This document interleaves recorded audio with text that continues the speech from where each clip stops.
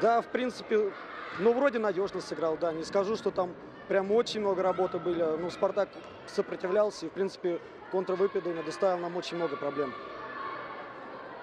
Ощущения какие после игры? Вот игра какое впечатление оставила? Да непонятно, пока эмоций нет, все в игре оставил. Потому что, в принципе, до последнего момента не знал, как она сложится. Волновался? Ну, было немного, да. Дим, э, не могу задать вопрос с мыслями уже в какой-то степени в Португалии. Нет, пока чемпионат, будем играть здесь.